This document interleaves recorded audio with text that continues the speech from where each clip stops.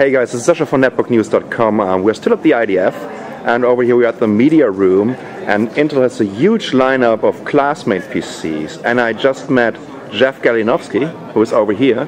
How are you? Oh, pretty good, Jeff. Jeff, tell us a little bit about your classmate program, what you are doing. Okay, um, so I'm the regional manager for all of our classmate PC activities in North America.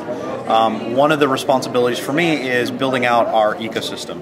So when we look at Classmate, um, which is a purpose-built netbook specifically designed for kids in education, um, we've got a lot of the features um, that really highlight this as a kid's netbook, right? We've got the handle, um, the ability to drop it, um, the rotatable camera, um, the smaller keyboard, the smaller form factor, the lightweight, uh, high power, affordable netbook one of the key pieces to this netbook, and I look at this as a kind of a competitive advantage for the Classmate PC series, which are carried by our local OEMs, um, is our vast ecosystem. Like, we can step through some of those ecosystem elements. That'll be fantastic. Just show us something. Okay, um, let me start over here. We're working very closely with something a lot of people already know about, which is Lego. Um, Lego Education, the education arm, has really been working with Classmate PC to create a robotic set for elementary school students. The target market for Classmate is K through 6. We really want to make sure we've got a solution at K through 6. And so what Lego has done is created this really cool thing. If some of you are familiar with Mindstorms, which is the bigger robotic sets, this is Mindstorms but for uh, elementary school kids. So here's a, an example. The kids would actually use the touchscreen to drag and drop and program certain elements, which I've already got a program running here, which basically waits for a light sensor turns the motor one way, plays a crunching sound, turns the motor the other way, and then reloops. What does this do? Well, I've got a cool little alligator over here. And when we stick our finger in here, the alligator chomps on our finger and then releases it. That's fantastic. Something a, a first grade or second grade could do. Yes. Another tool that we have here, um, this is really a physics tool. This allows kids to create some kind of a field in here. And it could be, um, it could be a neat little design where you've got you know a car and some water and a, uh, a trapeze guy. Everything that's on here interacts like real physics will. And I'll give you an example. Right now I've got a little ball drop here, and if you watch, as I rotate this, I get stuck. Sorry.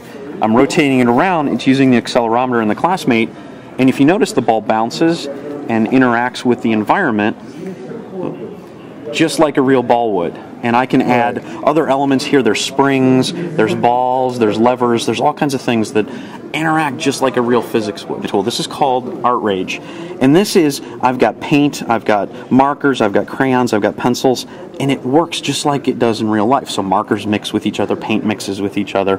If I want to, I can draw and bring up here a really quick water lily thing that I'm going to trace. And the first thing I'm going to do is squirt some paint down. And the paint I'm picking up from where I, my marker or where my stylus first hits, and it picks that color and creates a paint tube of that color. Mm-hmm. Then I'm going to bring my mixer here, and I'm going to mix it and make a nice little background. And you can see some guys moving around the screen. To give myself some really cool surface to do a little bit of abstract drawing here. So I'm going through, and I can use my finger on here as well. I'm just using a stylus because yeah, it's a little yeah. easier. Um, and then I can come here and let's pick the glitter and make some of these water lilies just pop right out. And they can create their own environment. Great. Um, we've also got, and then if I turn off the image, now I have a cool little abstract painting that I just made. And that took me, what, 45 seconds or less? That's really cool. Okay. This really showcases how you. There's a couple other examples. This is Young Digital Planet. Um, this is an educational e-content publisher that um, has some great tools. Right here, we're seeing um, pattern matching tools, and these are lesson plans that can be run. So not only do we have cool software and cool hardware, we've also got content. Here's another example. This is Childtopia. This is another content provider that's a secondary content, and this is a huge collection of educational games, stories, and worksheets for students. This is web based, but you can learn how to draw, and it's fun, it's interactive, they're characters. Now, let me add one thing here. The interesting thing about all this stuff is we are all looking at how to make learning fun. Right. Okay, these tools, kids love this. I see these kids get excited about using these applications because they're kind of like games, but they're teaching them something. Right. And I've seen that with my kids when I use that as well. Um, this is a note-taking program called Evernote. Um, it's the, you know gives you the ability to write handwritten notes or type notes. Kids need this for taking notes in class. Uh, Micro Worlds Junior. This is actually Micromundo, which is the uh, Latin America version of it, but it allows kids to write um, programs to make drawings and also to animate those drawings. Now, the last one I'm going to show is uh, a demonstration of another, another science tool. Um, this is a phenomenal tool that Pasco Scientific has worked with us. They do science sensors. So here's an example of, of, of, a, of a temperature sensor. They have hundreds of other sensors. What I'll do here is I'll actually start running. It instantly recognizes I'm a temperature probe and it's tracking. So I'll warm this up a little bit. Um, you can see it start to start to warm up. Uh, I'm, I'm a little cold today, so but then I can take this and drop it into here, and you should see, you can see the temperature drop down.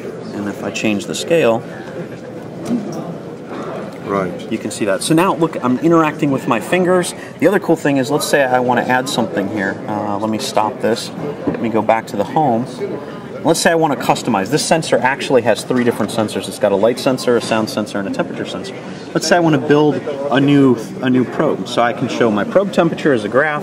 I can show my light sensor as a number, and I can show my sound level as a little bar as a little uh, gas gauge. And I hit OK, and then I hit play.